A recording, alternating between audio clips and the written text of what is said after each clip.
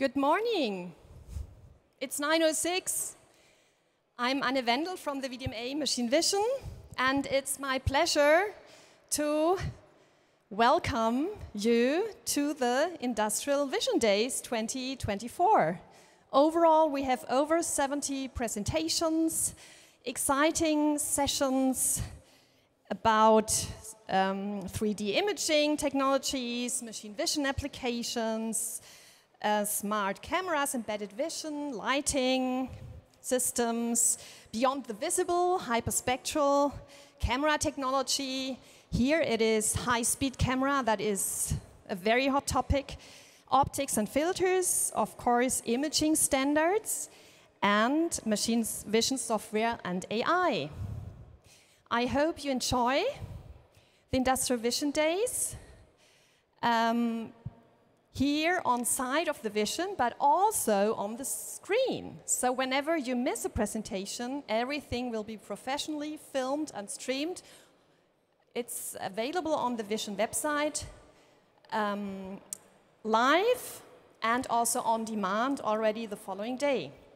So a big thank you to the technicians and of course to Vision, to Messe Stuttgart, who supports and sponsors the Industrial Vision Days.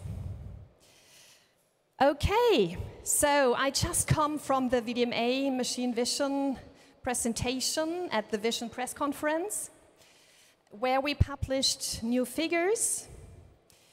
Um, unfortunately, we are all aware of it. Um, we have quite challenging times, not only in Europe, but all over the world. So the VDMA Machine Vision forecast for the European machine vision industry and for the German machine vision industry is minus 10% for 2024.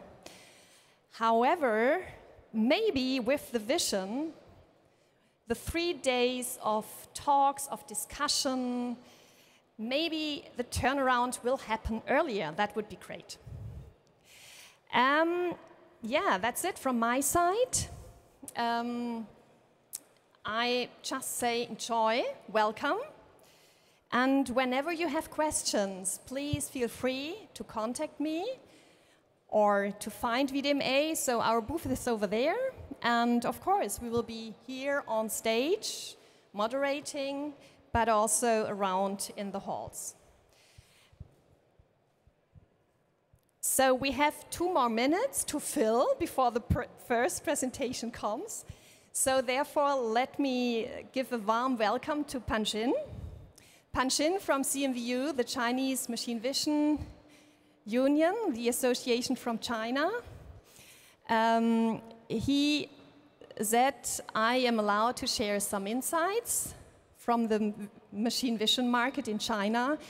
So he just told me the machine vision industry in China grew by only 10% in 2023.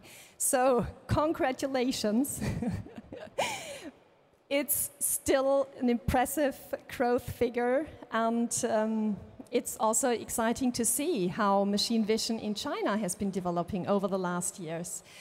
Um, Pan Xin is here with a delegation of around 50 companies 50 companies from China exhibit here. Um, and yeah, also looking beyond China towards Europe for competing here at the world leading trade show for machine vision. So a warm welcome, Pan Xin. And whenever you are interested to learn more about the CMVU statistics, feel free to ask Pan Xin. Also, the A3 colleagues from the United States, Bob is here, and from JIIA, it's Watanabe-san. You'll find them here also in Hall 8 at the International Vision Standards booth. And uh, the European Machine Vision Association, EMVA, also is available there. So that's it from my side. Thank you. And I'm now happy to welcome the first speaker. It's Sadiq from Teledyne FLIR. And he's going to talk about reimagining design in cycles, accelerating machine vision. So you said, I'm here first speech, thank you for coming and for being here, and the floor is yours.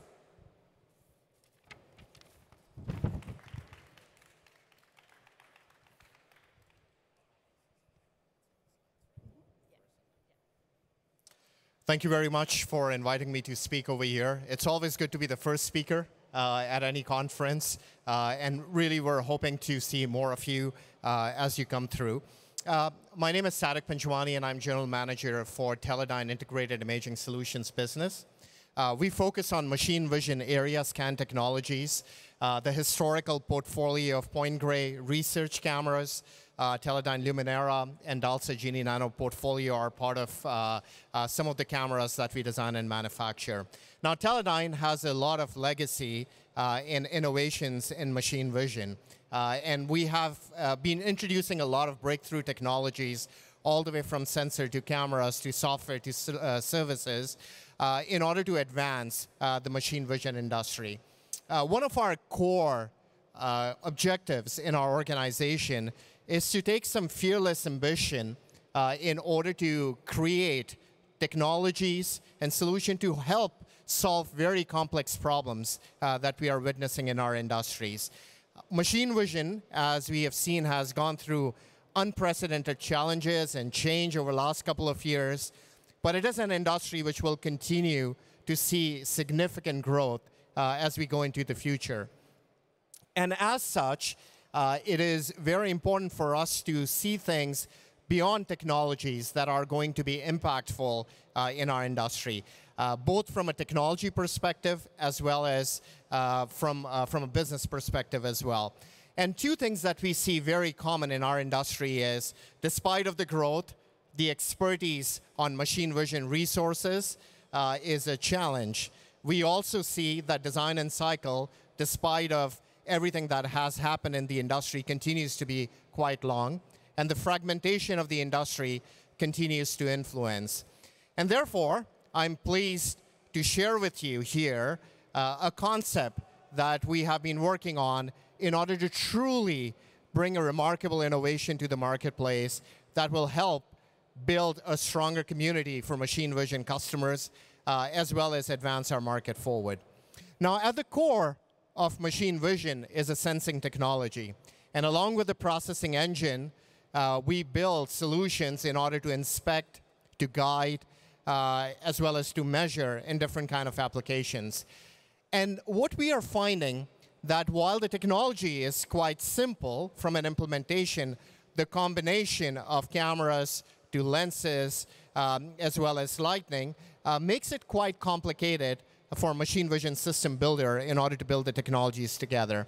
And the time-consuming nature, anytime there is a change in one of these components, makes it very, very challenging. And what it ends up doing uh, in the industry is there are two things that we start commonly seeing.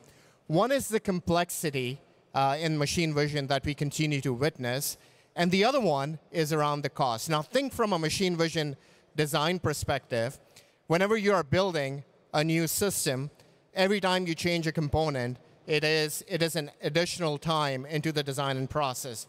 And typically, a design and cycle goes between, you know, anywhere between 12 months all the way till 36 months. And during that time, new technologies are getting introduced. So machine vision system builder really has to think through how would they take advantage of all of these technologies which are innovating and coming at the same point in time uh, when, uh, when they're already designing the system. Furthermore, as these designs are completed, it has to stand for a product life cycle for beyond 10 years. And what we are finding, a lot of components today, they have a lifespan of much shorter life cycle, whether you're thinking from an SOC perspective, and that it really limits the ability. So a lot of challenges for a machine vision builder. If you also see from a cost perspective, anytime you buy a new component, it is an additional cost to it. It's a capital investment that you continue to do. And you hoard many cameras, many lenses, many lights, some of which will never see a design into mass production. In a conventional design and process, uh, it starts from various different kind of steps. Uh, and as we all know, that this process goes anywhere between a 12 to 24 month cycle.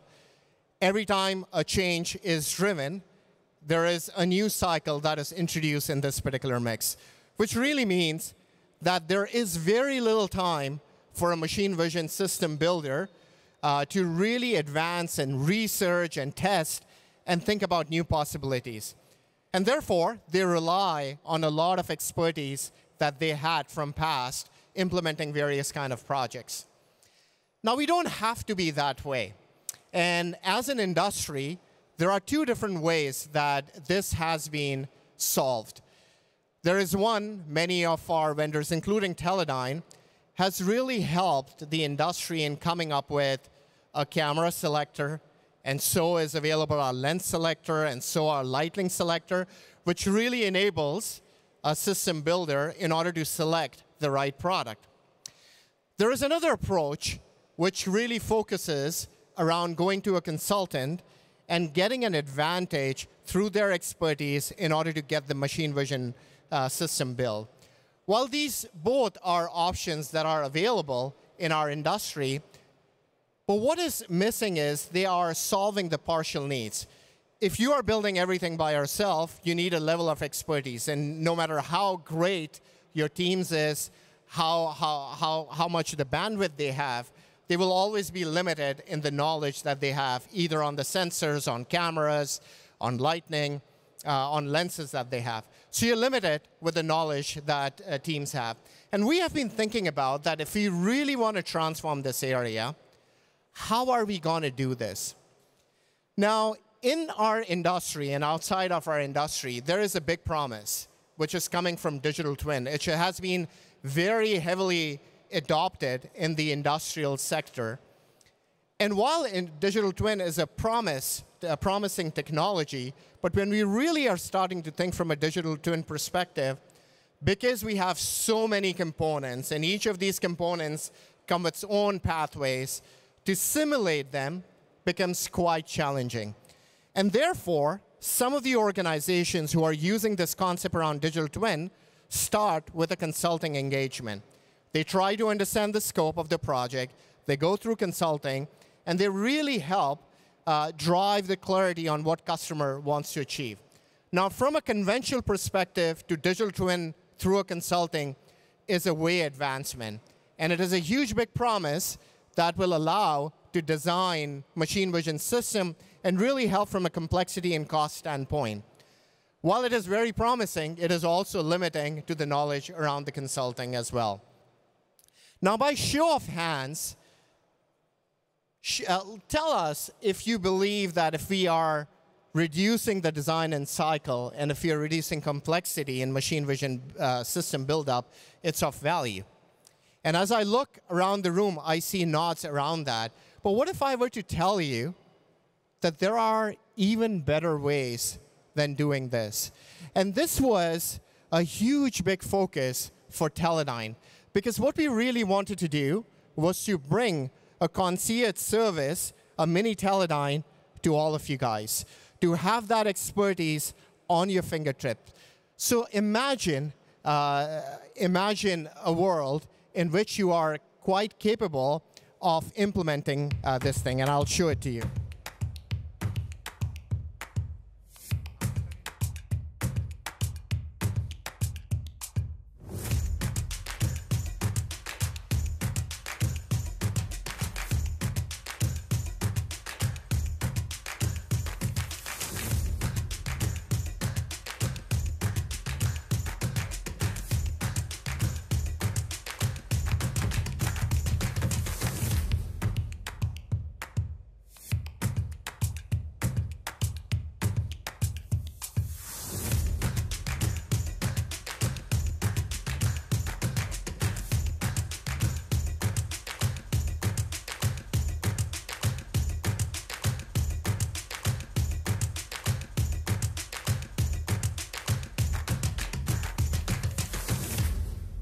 So I'm pleased to announce Sidebase launch here as part of uh, Vision Stuttgart.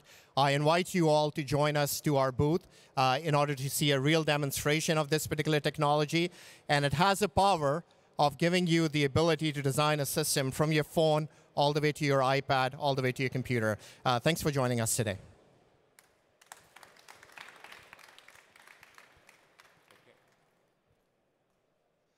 Okay, thank you very much. A warm welcome also from my side. My name is Paul. I'm from Spectronet and Fraunhofer in Jena, and I'm the host of the next session, uh, which is about camera technologies. This is maybe some important device? Oh.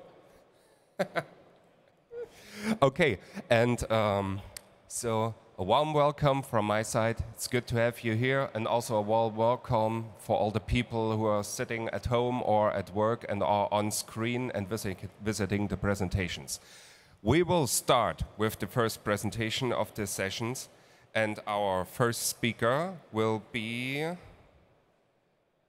Caspar van Elpt, CEO, and here as a representative of Daheng Imaging. So, Caspar, the stage is yours. Thank you, thank you. Welcome, everybody. Uh, my name is uh, Caspar van Elmt, and I'm the CEO of Get Cameras. We are the exclusive distributor of Daheng Imaging.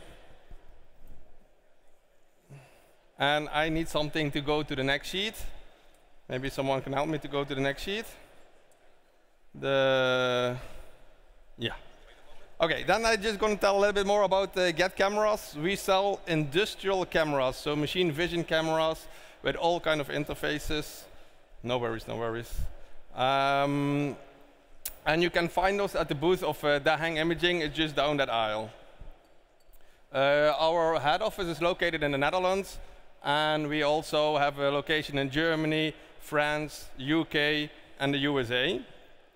And today I'm going to talk about uh, visible light cameras, polarizing cameras, ultraviolet cameras, short-wave infrared cameras, multispectral and even hyperspectral, and then we get a short summary of it. Uh, we're going to mainly discuss a little bit about the te technical part, but it's only also a lot about the applications, how you can use them. So what is visible light? Visible light is actually the light we capture by the naked eye. And cameras, you have monochrome cameras and color cameras like everybody can find them in the phone these days. They are very uh, widely used and they are also very cheap. I'm not going to talk too much about this technology because probably everybody knows about it. Uh, how are they used? What are the applications for that? One of the main applications on this show is machine vision. So for example, for inspecting pills that are in a blister, is the correct pill inside, and it has every blister also the pills. You can also use them for quality control. So for example, fruit sorting, fruit grading. You can use them in robotics. So detecting the position of a product, uh, reading barcodes, uh, controlling the position of the robot to grab a product. You can use it for sport analytics, so to track the swing of a golfer, but also for the high-speed recording, because if you hit the ball, the ball goes with a high speed to the screen, and you need to track the rotation of the ball to calculate how the ball will fly in the digital world. And there are many, many other applications for uh, normal 2D cameras in the visible uh, range. A special version of these cameras is called the polarizing camera. And a light, so now we go a little bit technical, so a light beam is actually a wavelength that goes in all kinds of directions. In this image, you see a horizontal and a vertical wavelength. And by putting a polarizer filter in front of it, only one wavelength will go to the camera sensor. So this is the typical thing that happens when you put a polarizing filter in front of the camera.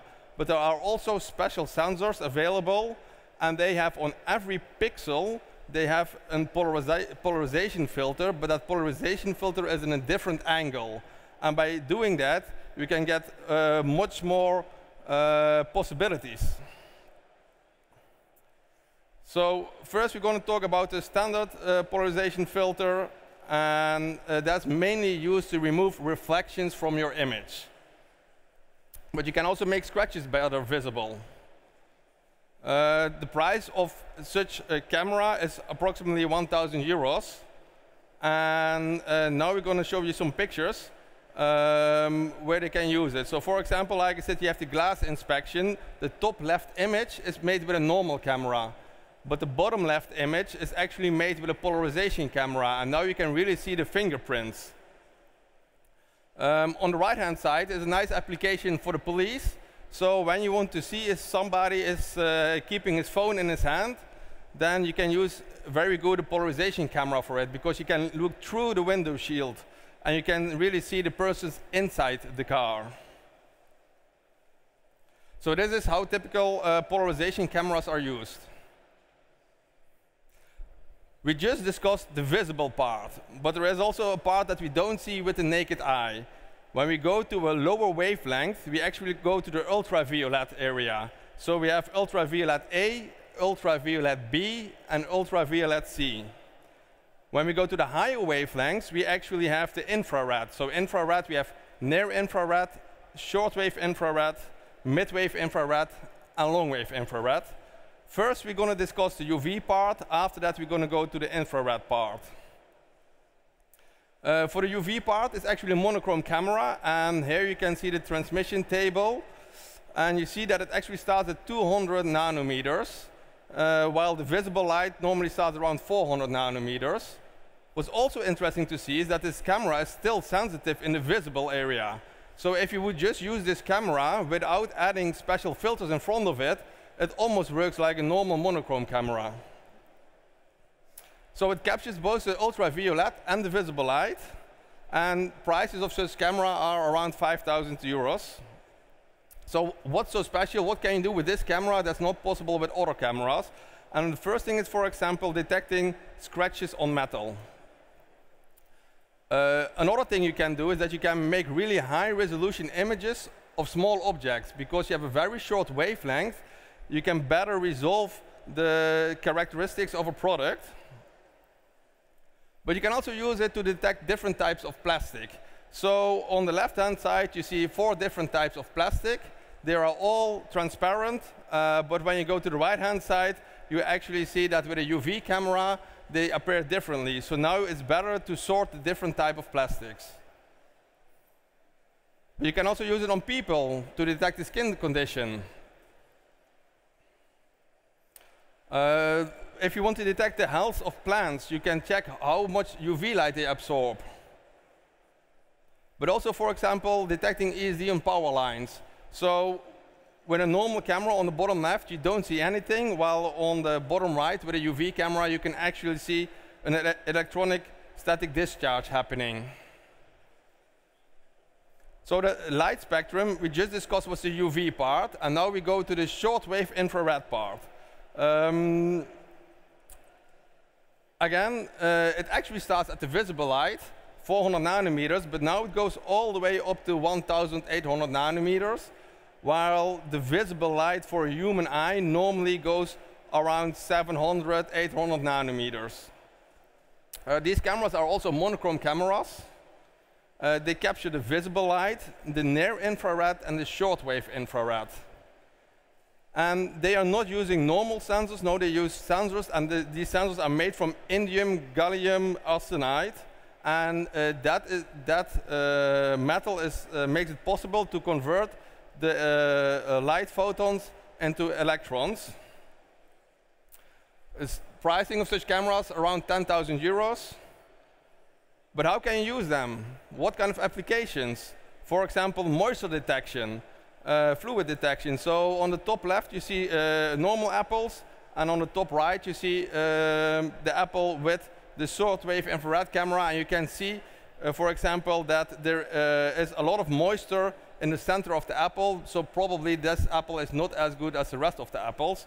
Actually, this setup we have also running at the booth with a short-wave infrared camera, so you can see it yourself. Um, you can detect if a sponge is wet or not wet. But you can also distinguish again, like, is it cooking oil or is it normal water that I'm seeing? So also, if you want to see, like, I filled up a bottle and I want with water and I want to see how full the bottle is, a shortwave infrared camera can give you a lot of contrast. Other applications is uh, granulate. When you inspect granulate, you can see uh, with shortwave infrared suddenly that there is contamination in your granulate.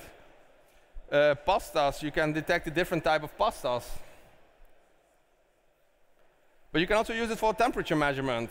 So around the range of 200 to 300 degrees, you can really clearly see the difference in temperature. The more brighter the, it is, the higher the temperature. So on the left-hand side is the normal camera. Everything just looks white. But on the right-hand side, you can see that the, the solder tip of 240 degree is not as bright as one of 300 degrees. Uh, you can use it for uh, quality inspection. So you can look through a silicon wafer. So on the right-hand side, you actually see what happens when you look through the silicon wafer. You see the rest of the image. But you can also look through plastic packages. So if you want to see if you filled up the pa package, you can actually look through the package to see if your product is inside. That was the UV part, and now we're going to talk about hyperspectral. So what's hyperspectral? It actually means that you make multiple images of one product, but they are all in a very narrow bandwidth. So it can be a combination of UV pictures, uh, a lot of different wavelengths in the visible range, different wavelengths in the short uh, infrared range, and that all combined, we call it actually hyperspectral. So that's what, uh, when you have more than 100 different wavelengths. And this is mainly used in research, because in research you want to see all the wavelengths, and then you're going to define what are the final wavelengths you really need in your application.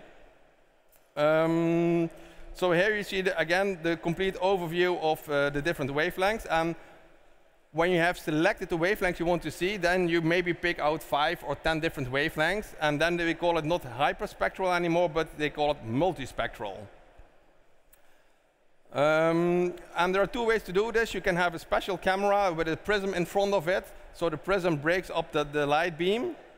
But you also can use multiple cameras, and they all have a specific filter in front of it. So you can combine a UV camera with a shortwave infrared camera, a color camera, and some monochrome cameras with some bandwidth filters. Uh, and you can use it mainly to detect a different type of material. So uh, this is a lot of uh, technology that's used in plastic sorting and waste sorting machines. So if I summarize it, we have the visible and the near infrared um, range, and that are the most used cameras. They're very cheap.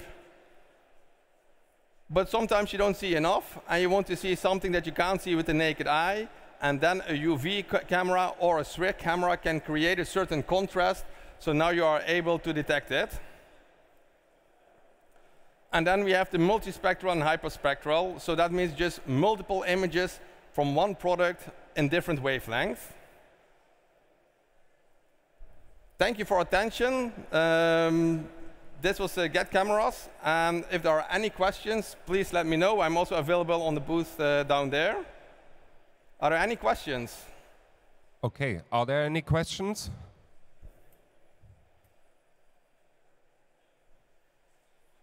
That was a very good, clear presentation then. Of course, you did. Thank of everybody shy, that's also possible. Thank you very much. Yes, you're welcome.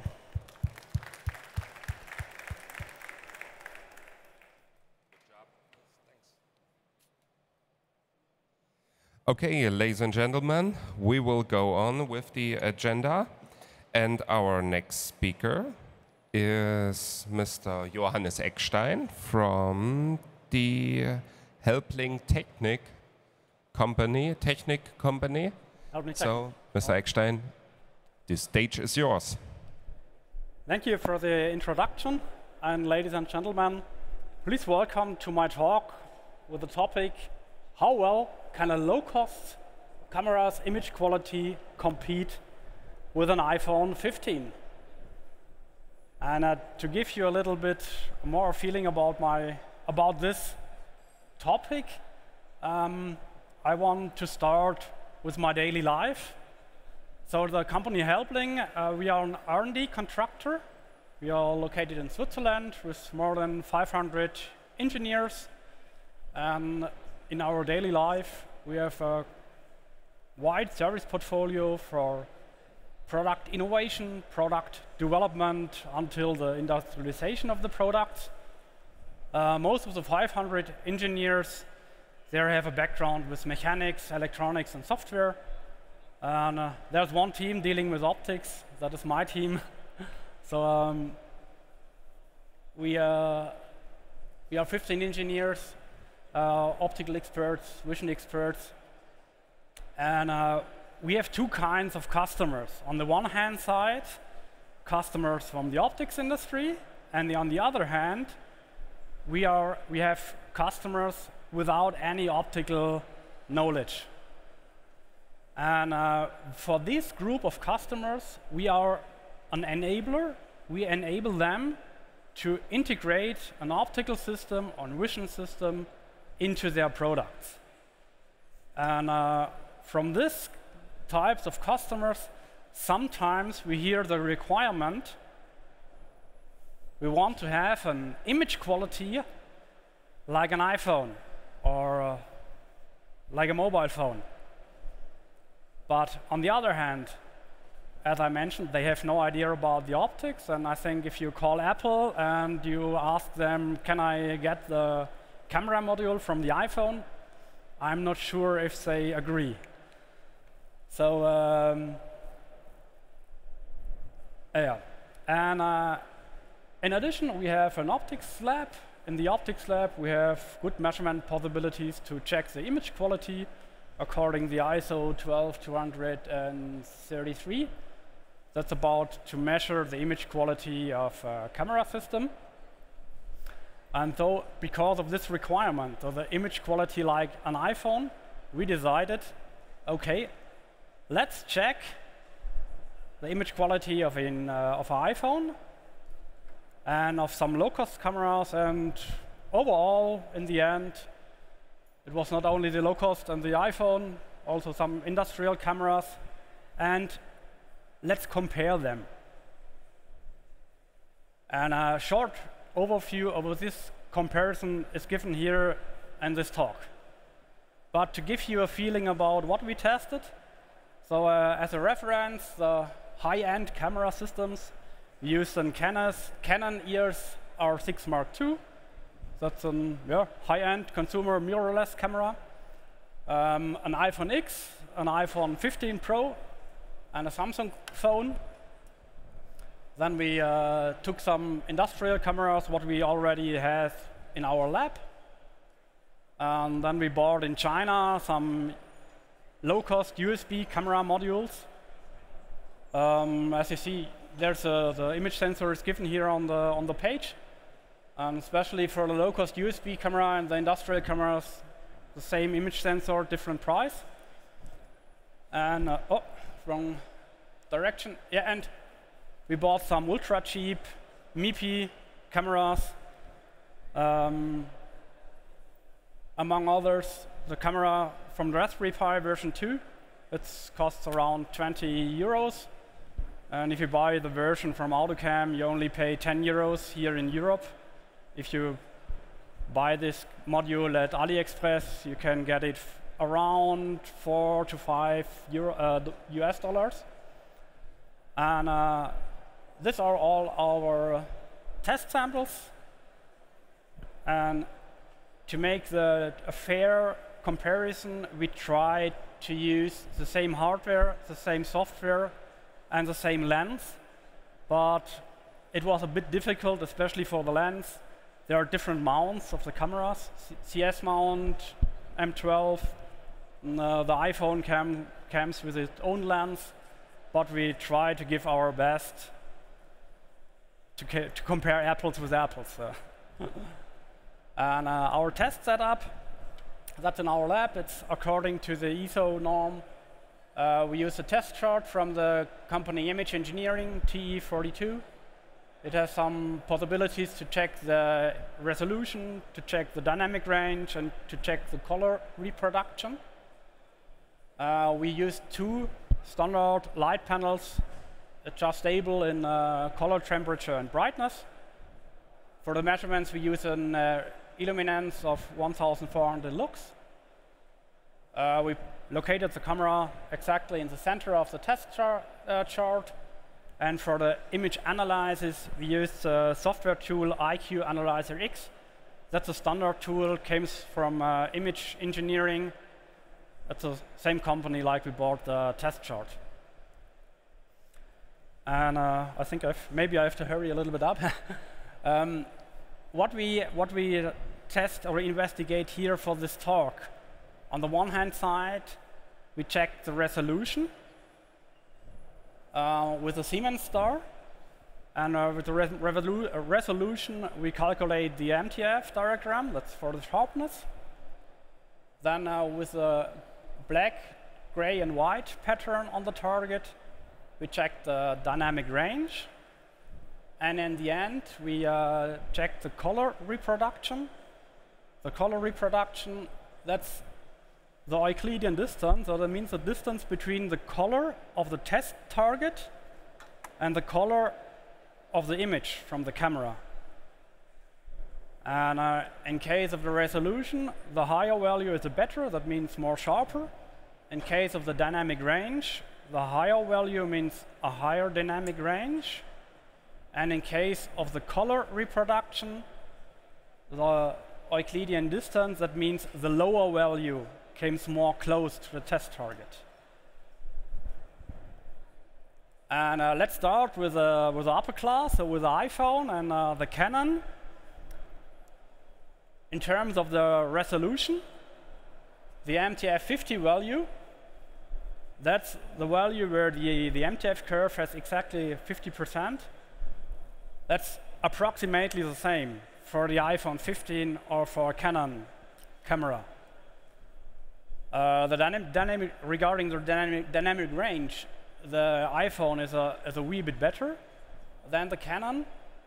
And I think what's quite here quite interesting, um, normally you expect the MTF curve on the lower. That's the standard MTF curve of a lens. So in my study 20 years ago, I learned the MTF value can never get higher than 1 or 100%. So what happens in the iPhone, so the upper graph? There we have a value nearly at 100 or 1.25. Uh, the iPhone uses an edge enhancement filter, and because of this edge enhancement filter, the software filter, the MTF value can get higher than 1. And uh, yeah, the third, I see that's a good screen here on the vision. Uh, the color reproduction. Here we give you two results. In the middle, that's the test chart, always with two patterns, like given on the test chart, on like, like in the image. And on the right, that's the Euclidean distance. That's exactly the value between the target and the camera from the, from the phone or from the Canon. And what I can see here is the Canon is more close to the target. And the iPhone, uh, they tuned a little bit the color more to the more shiny. Um, the red is a little bit more red. Uh, so some our first knowledge from here is if you use a Canon, you have quite neutral images. If you use the iPhone, there are some software filters in the back especially for the edge enhancement, as well as the colors are a little bit more, more shiny, more stronger. And uh, in the second step, we uh, made an investigation of two different kinds of cameras with the same, same image sensor, both with a Sony IMX334. Uh, the first one is from an uh, German industrial camera supplier, and the second one is from a Chinese company. The first one, we used the standard software from the supplier, and for the second one, um, there was no software available, so we used the standard Windows driver. And uh, regarding the costs, the industrial camera is around 200 euros and without the lens. And the Chinese camera came for 100 euros, including the lens. And so the same, same image sensor, and in terms of the resolution, the smaller M12 lens from the low-cost camera is yeah, poorer than the industrial camera.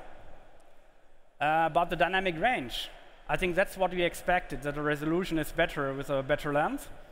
But the dynamic range, in case of the industrial camera, is only about 40 dB.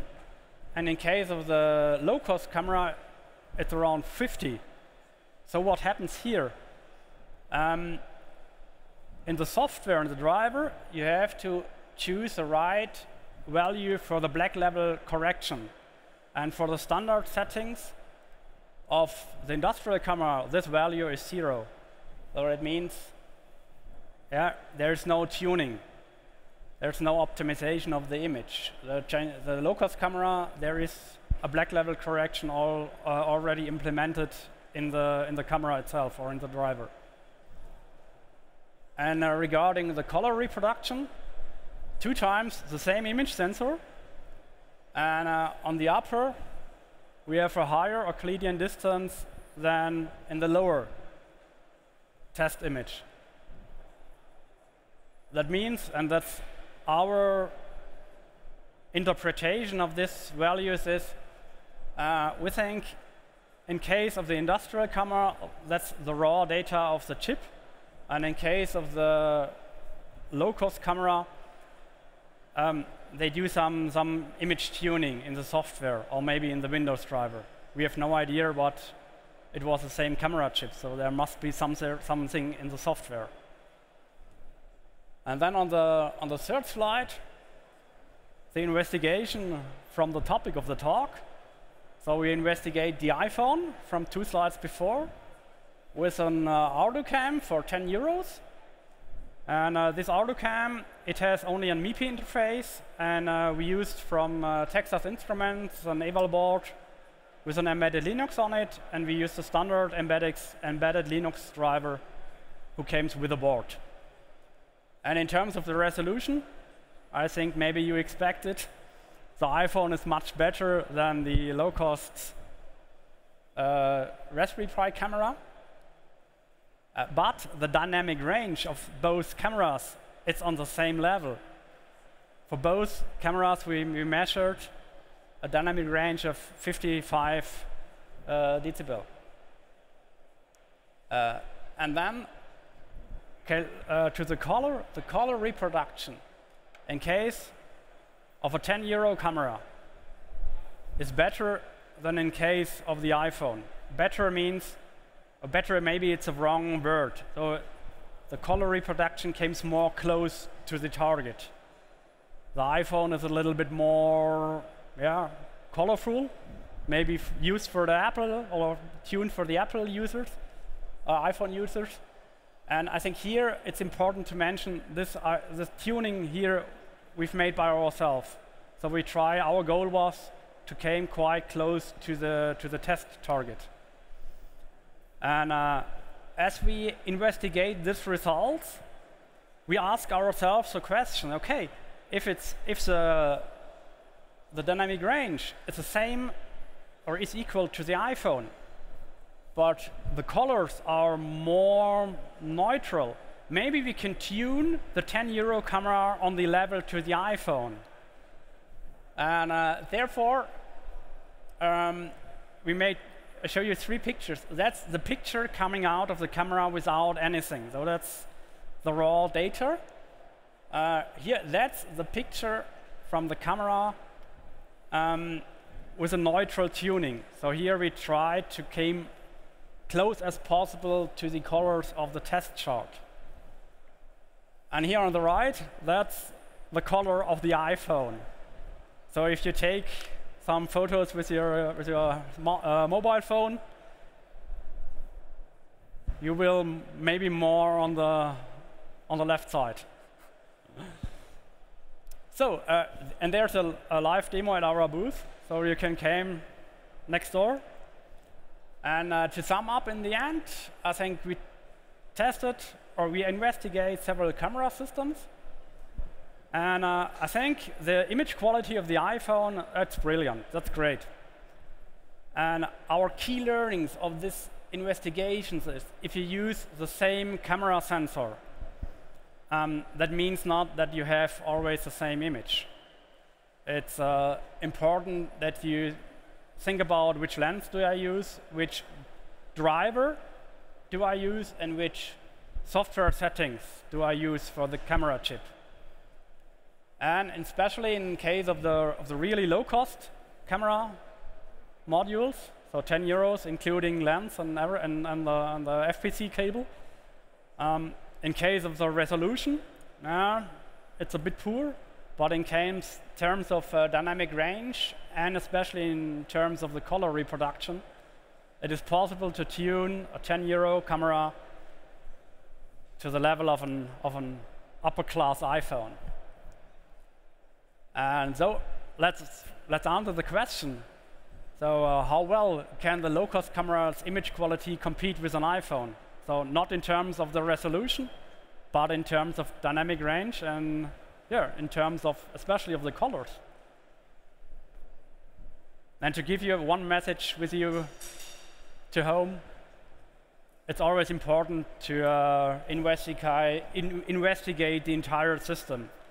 It's not only the camera sensor, it's the lens, the driver, and the software. And for me, my personal learning was especially the driver and the software. Thank you very much for your attention. Okay, thank you very much for this very interesting presentation and this uh, interesting comparison uh, of image sensors and what it is possible. So, are there any questions? There we go. Thank you for the talk. Um, you mentioned the iPhone about a price level of 1,000 euros. What are the costs that Apple spends for the camera-specific hardware, like optics, imagers? Did you investigate that as well? That's a good, good question. question. That's a very good question. I have no idea. but I think that's the same here. If you if you if you took a low-cost camera module, um, you also need to investigate in the development that you came on up to the level of the iPhone. That's not out of the box. It would be very nice if you can request the cost from Apple. Uh, yeah, yeah, but but but uh, uh, Sia does a little homework, and next year you can share it with us. uh, would be very interesting. Um, yeah. Okay. Are there any further questions? Oh, yeah. Hi, uh, thank you for the talk. I have a question regarding the uh, resolution comparison. So you said like the iPhone 15, they used like, for example, an um, edge enhancement filter, but the small MIPI cameras, for example, they didn't use any, so there were not any like specific software on it. So is that even a fair comparison actually? Or did you try, for example, um, to even further enhance the resolution with some software filters for those small low-cost cameras? Um, Does it make sense, the question? We made some further investigations. that are not including in the talk. Uh, we made some special investigations with a low light. So with 10 lux and with, we go down to one lux. And in such a case, especially for the low-cost cameras, uh, then you see what happens with the noise reduction as well as with, uh, with the edge enhancement. And uh, the, to go back, um, and especially the, the, the processor from uh, TI, what we use for this investigation for the low-cost camera, uh, there, this processor had quite good possibilities for, for the ISP tuning. And there is an edge enhancement filter included and a noise reduction. And it's also possible here to, to uh, tune the camera for different light settings. So for example, if you have good illumination, you can uh, use a little bit more the edge enhancement filter, and it's not necessary to, to use uh, the noise reduction. And for lower light, you can skip the edge enhancement, but use more the noise reduction. Okay. Okay, one last question. Hi, this is Hendrik with Missing Link Electronics. I would argue that the quality of the sensor is secondary to the post processing. And one of the things that we see is that if you use transformer nets for post processing and analytics of the imagery, the quality of the image sensor is absolutely secondary. The question is, what are your findings? Pardon, I. Okay, okay. the speakers are in your direction, so I have no Okay. no sound from the microphone from yours. Okay, yeah, au- audio is, uh, at least we can hear you. um, so the question is what are your findings when using AI, more particular transformer nets, on the impact slash the quality of the imaging sensor? Uh, that's a very good question in terms of the AI.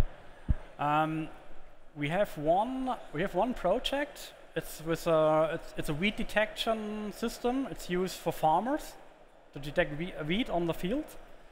And uh, in that case, um, you have different light conditions because because of the weather.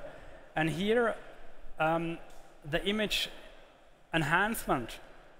It was an, a quite important step because the AI, it's, it's always a question, which data do you use to train the AI? And uh, we had a set of a data set, but we do not cover all weather conditions perfectly and all directions of the, of the sun and the polarized light. And uh, at this specific project, uh, it was important to, to, in the first step, to tune or to enhance the image on the same or nearly the same quality. But it depends on the training data. Okay, uh, so uh, use the chance to get in touch with Mr. Eckstein after this presentation because now we have to go on. A big applause again. Thank you. Thank you for your nice talk. So- Okay, ladies and gentlemen, we will now go on with the next presentation. And the next presentation comes from Mirko Benz from Baumer. Mr. Benz, the stage is yours. Oh, I already have. yeah. Yes, thank you very much. I hope you can hear me. Um, Baumer has uh, put this show under the motto break the speed limit. We see improving the speed um, addresses various aspects that we see at the applications our customers wants to solve. And with this presentation, we want to show you how you can use GigE Vision for ultra, ultra high speed applications. My name is Mirko Benz. I'm working at, as head of product manager at the Vision Competence Center at Baumer. Ah, so this already works. Yeah, just a few words about Baumer. Uh, we are international family-owned business. Um, since more than 70 years, we are leader in uh, sensors that are used for various factory automation applications like encoders, position sensors, and so on. If you have any task within the factory automation industry and you're looking for a sensor, there's a really good chance that Baumer has the right product for you. In terms of vision, um, we produce uh, machine vision cameras and uh, smart vision uh, products also for more than 25 years already in Germany. And also here we cover a broad range of uh, cameras. Um, we are active worldwide, uh, roughly uh, 2,800 employees, something like 500 million uh, euros in, terms in, in, in, turnover every year. So we are one of the bigger companies providing machine vision um, technology. Um, the topic for today is really how can we address really the most advanced application with standard GigE Vision technology. Of course, we have a broad range of mainstream cameras with GigE and USB interfaces, which address almost any application that you will find in the machine vision industry for quality inspection. However, what we see is more and more customers would like to improve the accuracy, the quality of their inspection, but also they would like to improve the throughput of their inspection systems. And both higher resolution, higher throughput requires more and more bandwidth. For example, if you take a high-speed or higher speed camera with 24 megapixel at 50 frames per second, then you already need a 10 gig interface, something that is no longer mainstream. Such applications are typically found in electronics, but also semiconductor industry. It gets more and more complicated if we increase the number of cameras that are used in a system from one to many. We have several applications where we use 20 or even 30 or more cameras in a single system at a single PC. And of course, if you have such 10 gig camera systems with such a high camera count, then the total bandwidth is really huge. And that's something that uh, is really looking for a new approach. Um, what is in use today and was introduced already 20 years ago was uh, GigE Vision. At that time, 2006, when the standard uh, was rolled out, GigE uh, was considered a very fast interface compared to the other interfaces of that time, like USB 2 or FireWire, and uh, therefore um, the overhead uh, of the protocol processing that was pushed on the operating system and the CPU was considered doable. Um, the general approach here for uh, standard GigE Vision is to use a dumb network interface card which receives the images that are packetized by the camera and just forwards these packets uh, to the operating system. However, this involves a lot of overhead, uh, like copy operation, uh, like uh, context switches, handling uh, interrupts, and so on, which really limits the ability to really achieve very high speed. And therefore, we need a new approach to really tackle these more demanding applications. From our aspect, uh, um, the real or right approach is to continue with GigE Vision, but exchange the streaming protocol towards using RDMA. RDMA basically means that uh, the camera is now able to directly put the images into the buffer of the application. Uh, it requires a smart NIC, an RDMA-capable NIC, or network interface card that can do a lot of the protocol processing already in hardware. It's message-based, it allows to do error detection, but also helps to do error recovery by doing retransmission. And as a consequence, the operating system is now no longer in the data path. This really frees up a lot of CPU and uh, paves the way to really high-speed applications. We did, for example, tests with 100G network cards. We get close uh, to the line rate 99 gigabits per second at just 3% CPU utilization. So this is really a remarkable performance that can be achieved with this new technology and we want to make it possible to use this also now for standard GigE Vision cameras. For high performance applications, the, uh, the, dominant camera series we have is our LXT with a 10 gig interface. Um, with this camera, we have integrated various modern CMOS sensors from Sony, like generation 2, 3, and 4 um, up to 24 megapixel, but also modern uh, CMOS sensors from Gpixel up to 65 megapixel. With this camera line, we can fully utilize 10 gig E line rate, but also have other unique features like image pre-processing, like shading correction, but also quite advanced color, uh, uh, color calculation, for example. We also have very um, strong um, um, uh, connectivity like uh, lens control for uh, liquid lens uh, connectivity, for example, but also a really good uh, robustness with this camera supporting IP67, but also M12 connectors for harsh environments. Um, this camera line was already introduced uh, 2018, and now we are coming up with a free of charge firmware update, removing the standard way of GigE Vision and replacing it by streaming via RDMA. The key advantage here that customers can have is a significant reduction in terms of CPU utilization. Then a 10 gig camera just needs 1% of CPU to uh, use the full bandwidth of 10 gig We keep the reliability of GigE Vision, uh, so we not just do error detection, but also error recovery. This is a major aspect. So to uh, keep the reliability, our SDK supports both Windows and Linux, the major operating systems that our customers use. We made the migration to RDMA really smooth. Customers can do this within one day, so it's really straightforward uh, to migrate to RDMA and reap the benefits of it.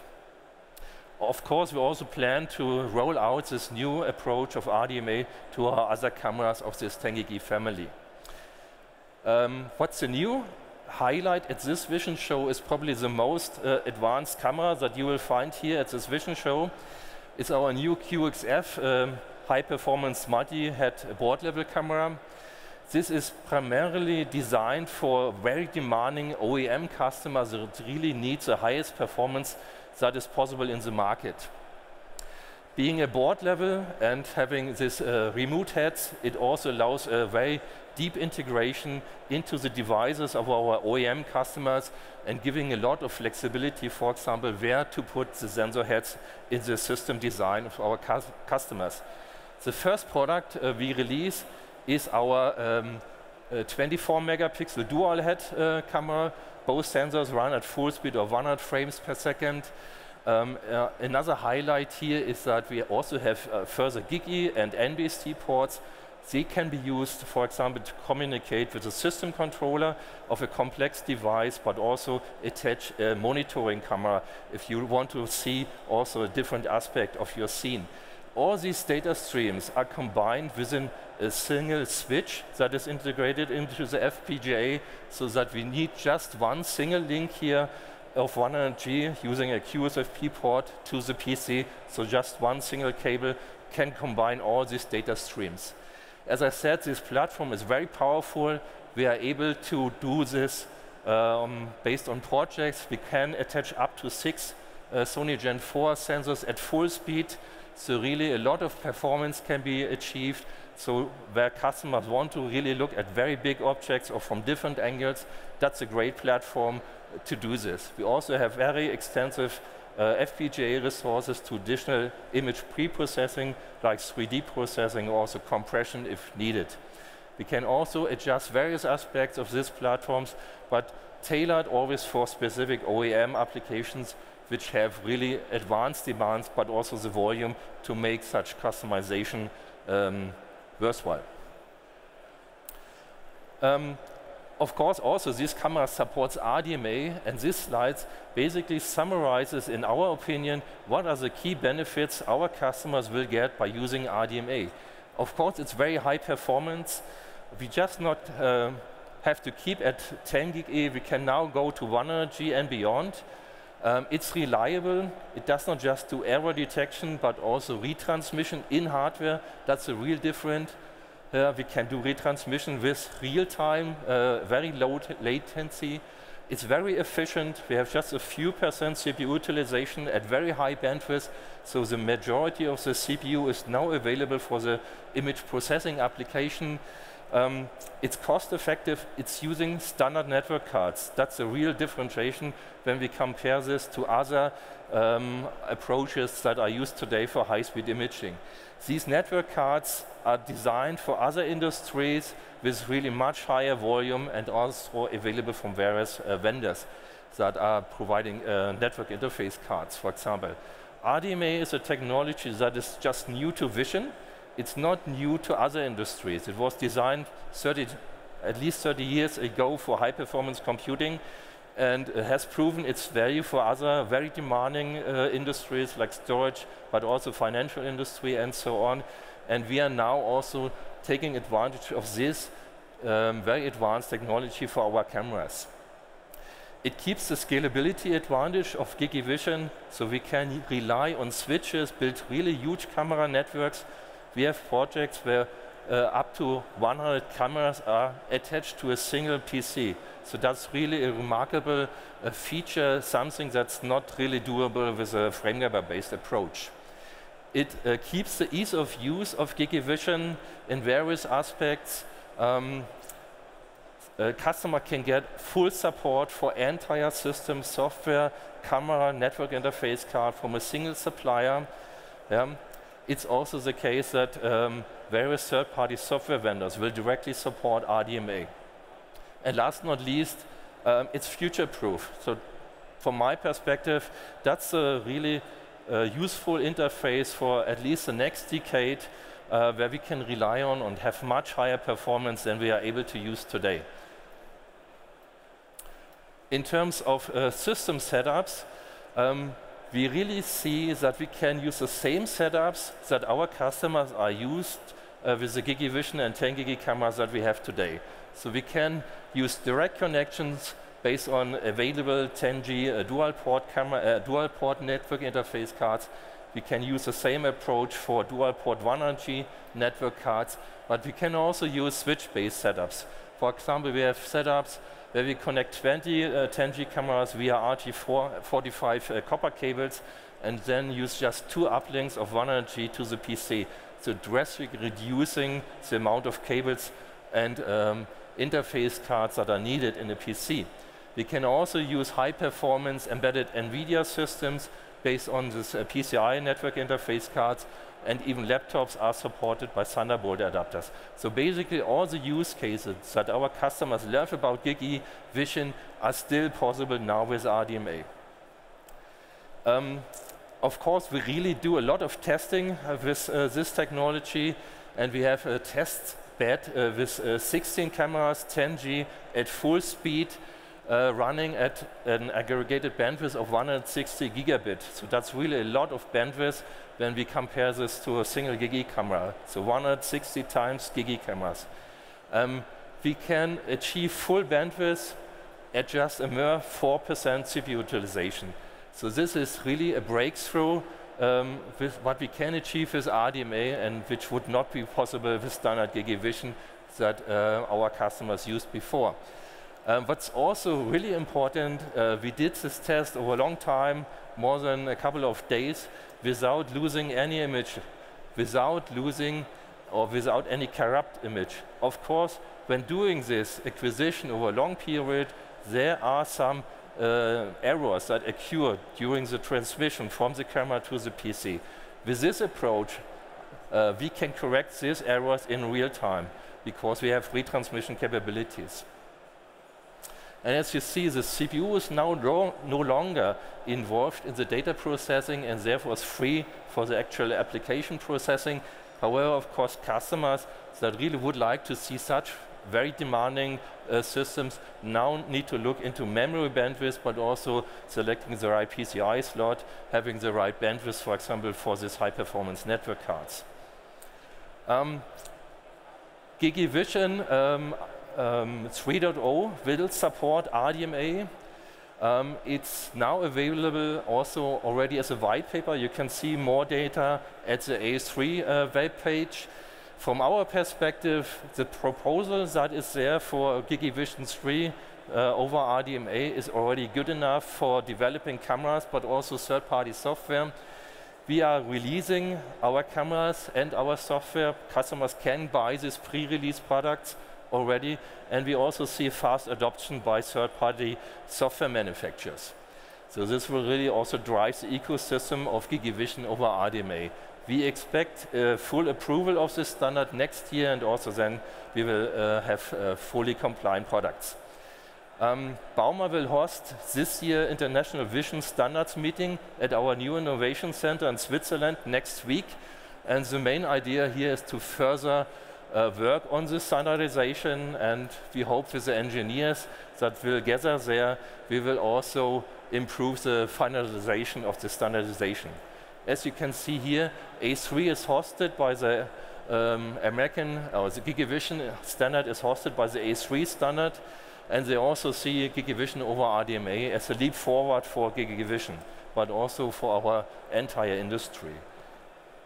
So what does uh, GigE Vision basically bring you? It's the three aspects that customers that want to design high-speed systems are really looking for. High performance, reliable systems, but also low CPU utilization. But that's also something you can get today uh, with other frame based approaches. With, RG, uh, with RDMA, using GigiVision, you can get much more than what's available today with a frame based approach since it's using off-the-shelf network interface cards that were designed for much bigger industries in much higher volume, they're very price attractive.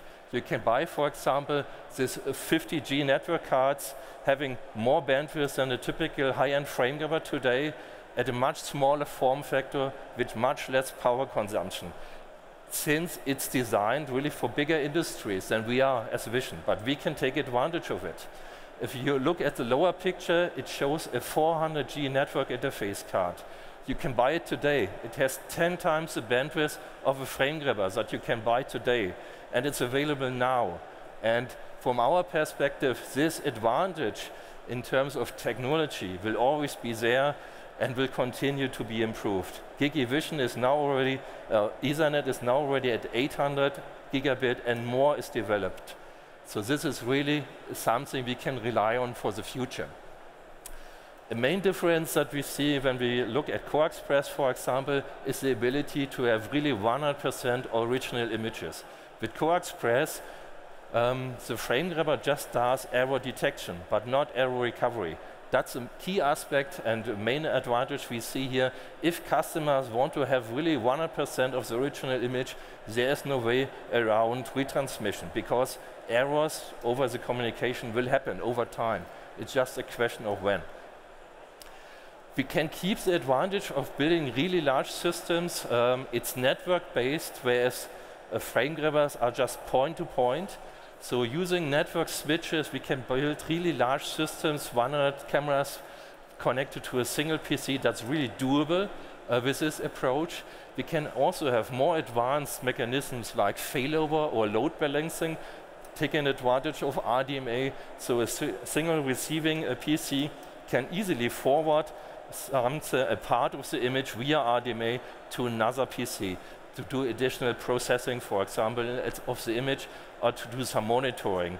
So that's really also straightforward uh, when doing uh, RDMA. And as I mentioned, that's also a key differentiation. GigE Vision is one of the key standards. It has always been supported directly by the major third-party software vendors. Customers can go to the third-party software vendor and get direct support. This is not the case for a typical frame grabber, where you have to go to two different parties when you are looking for support if something does not work. And we have, Baumer have decided a couple of years ago to stop this uh, developments for, uh, for frame grabbers since we have seen more potential into the, in these uh, standard interfaces. To summarize, uh, GigE Vision is clearly the dominating interface that our industry is using today more than 50 cameras, 50% of the cameras that are sold worldwide are using GigE Vision today. With 10 GigE, we could already drastically improve the performance of these cameras to a new level while keeping the underlying protocol. This is still a very good approach for small systems with 10 GigE. However, if we are really looking for really big systems or want to maximize available CPU or uh, CPU resources for application processing, then RDMA will bring GigE Vision to a fully new level. And it really keeps the price performance advantage of standard network interface cards. And really, from our perspective, there's no longer need to use frame grabbers anymore. Yeah, just uh, last slide. Thanks. Um, I would like to invite you all to visit our booth just over there in the center of this hall. In addition to our new RDMA cameras, we will also show you some non-visible, uh, uh, inspect the visible sorry, cameras with SWIR and UV, but also a really interesting camera, all-in-one integrated, very compact form, for, form factor for um, entry-level applications. Also a device that is pretty unique in the market. Thank you very much. Thank you very much, Mr. Benz, for your nice presentation. Unfortunately, we are a little bit out of time, so everyone who has question, please follow, follow Mr. Me. Benz to yep. the Baumer booth. And now we go on with the agenda. Thank you, Thank you again. Yep. Okay, we will now go on. Our next presenter is Mr. Timo Eckert from the ChromaSense company, and we will learn more about fast, high-resolution application with line scan cameras. So, Timo, the stage is yours. Thank you very much.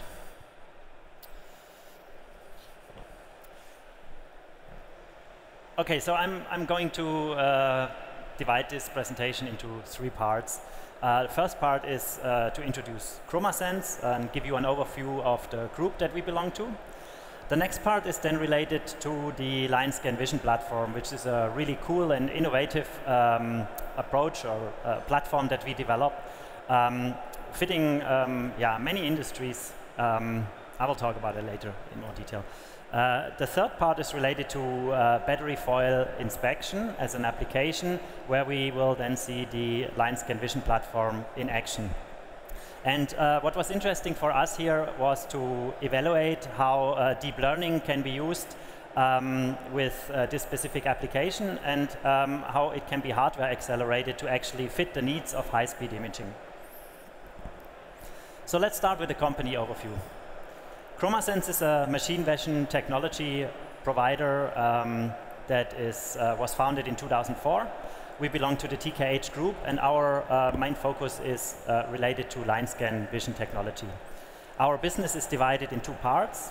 One half is uh, developing standard products uh, in the line scan uh, domain, like what you can see here on the lower right, cameras and light sources.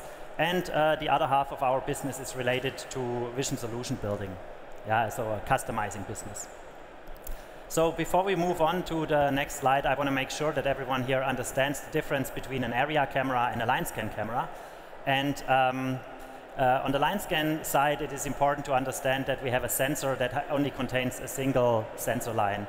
And um, you uh, can acquire a two-dimensional image by actually scanning the object. So you need a movement between camera and, uh, and the object that you want to acquire an image from. So uh, here are some applications and markets that we are active in. I will not go into details, but if you have questions, feel free to approach me after this, uh, after this talk. Um, we belong to the TKH group. Uh, TKH is a Dutch uh, technology group um, that is working in three technology fields, in uh, smart vision systems, smart manufacturing systems, and uh, smart connectivity systems. And um, ChromaSense belongs to the TKH Vision part of that group, which is part of the smart vision system field in TKH. TKH Vision is uh, a global group of machine vision technology providers, and you see here um, the, uh, the, the, brands that belong to this group. And um, what we have as well in this group is uh, TKH Vision Solutions. And TKH Vision Solution stands for all the activities that we do related to um, yeah, essentially uh, customizing vision solutions for our, um, our customers' needs. So uh, why am, am I spending so much time introducing this corporate structure? Um, I'm doing that because uh, there is, uh, ChromaSense is additionally operating something that we call the TKH Vision Solution Center. And the TKH Vision Solution Center is an entity that is uh, developing solutions for uh, TKH Vision and for our customers. So um, I mentioned before that half of our uh, business is related to solution building and or to customizing business, um, and therefore we have a long experience doing that for our customers. So let's move on to the LineScan Vision platform.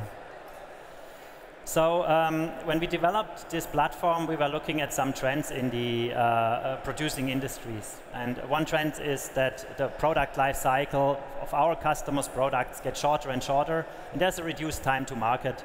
So um, there's really a need for flexible machine vision uh, systems. We also see that the uh, quality standards go really up in this domain, and there is a need for faster production speeds. Um, a third trend that we see is that there is a demand for uh, reduced system engineering um, costs for this kind of systems. So modularity and flexibility are key to being able to provide um, products that are uh, fitting to our customers' needs. And um, yeah, standardization plays a, a, large role in this. Another aspect that is important here is uh, that we see that the component suppliers more and more offer also additional tooling that allows the customers to be faster on the integration of these kind of components. So um, we developed this platform for customers that, uh, that think modular. Yeah? And uh, the core components of the uh, LineScan Vision platform are uh, a modular housing and a camera and uh, light sources essentially. Um, and uh, you see here on the right side an example of a vision system that is built on this platform. And this is only one example, so the amount of cameras and the type of light sources that are being used here in a modular fashion um, can be changed. Yeah, and we will see some examples later. The flexibility comes with um, yeah, with the point that you can change those cameras, so you have different resolutions and different um, scan speeds that you can realize. And um, the whole system is very scalable for different applications.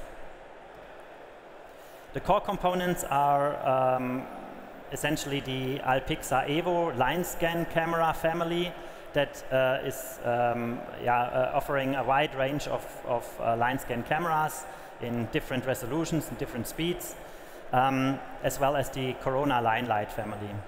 And uh, on the Corona line light family, we have all kinds of different light sources that you find in a machine vision application. And light is uh, really he, uh, key here when it comes to this modular approach.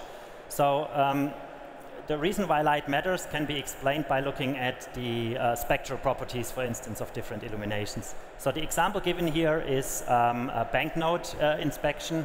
So um, when you look at the banknote that is shown here on the right side, um, this is acquired with different light sources, near infrared, ultra, ultraviolet, and just a white light. And you can see that different features become visible in the image depending on the um, lighting scene that you choose.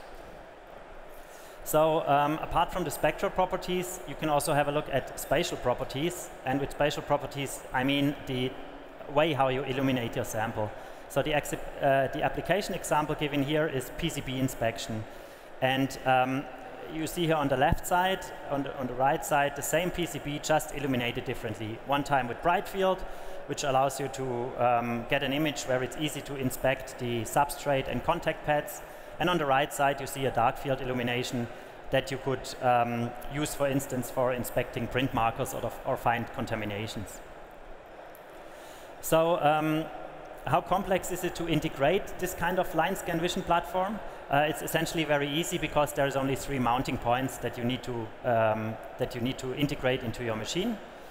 And um, then the question would be how do you align the individual components of this uh, platform? And the way how we solve that is either by uh, delivering to our customers a pre-aligned system, or you can use uh, alignment adapters that are included here for doing this alignment yourself. We also have a, a specific software um, that allows you to do a kind of a live adjustment of the system, so you can really um, do the commissioning in a few minutes. So here are now some examples, but I'm not going really into details. Um, this is a line scan vision platform that is designed for battery, battery electrode foil inspection. Um, there is another example that is for uh, web print quality inspection and a third one that is for uh, PCB inspection. And really the key here is only it's the same modular approach. We just modify the type of cameras and light sources application specific. And there's little engineering time overhead for doing that. So um, if you have an application in mind, please feel free to come visit us on our booth and uh, let's talk about configurations that fit your needs. So now the uh, other part of this presentation is related to uh, work that was done partially by two of, um, of our students um, that did their master thesis in the domain of battery foil inspection. And uh, the motivation for uh, doing this demonstrator here was that we wanted to see the line scan vision platform in action and uh, we wanted a tool to acquire real uh, training and test data um, that can be used for evaluating an AI-based anomaly detection approach in this application.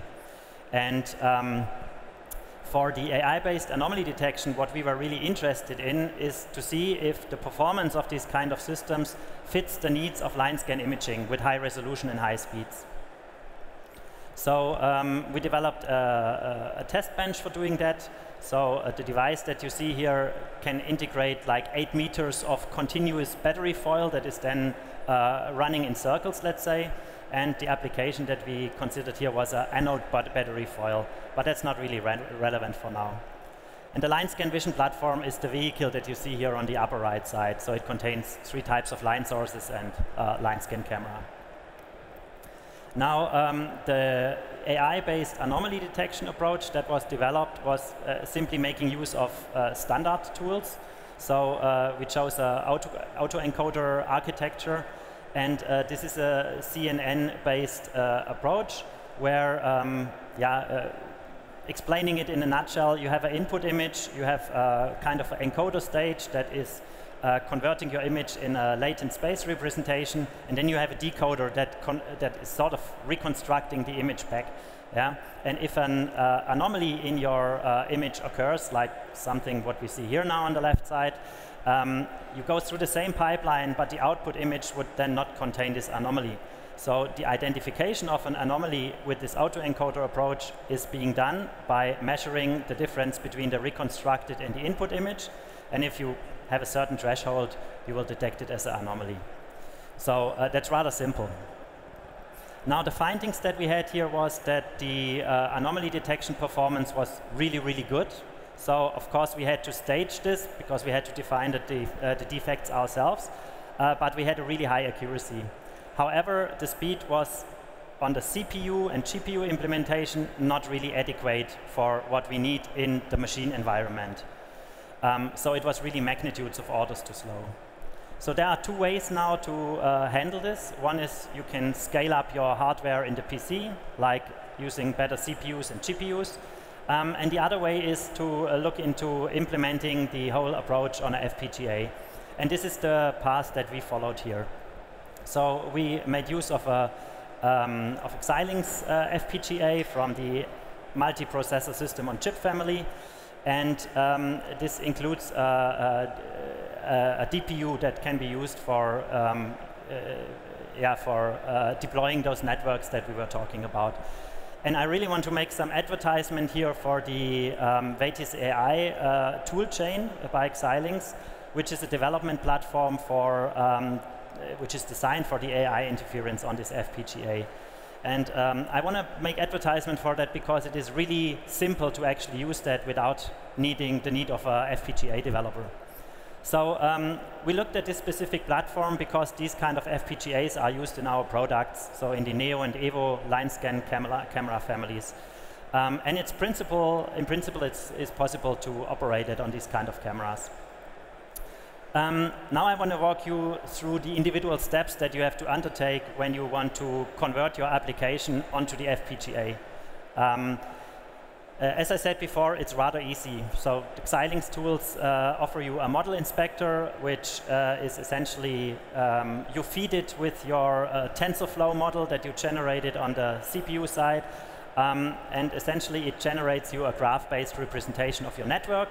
Um, and apart from that, there is sort of an info file being generated that can be used to identify bottlenecks in the implementation that you have there. And in our case, um, the picture that you see here is this output file. And what we saw here is that the last layer, uh, the activation layer of our network, contained a function that was not supported to be run on a DPU. Yeah?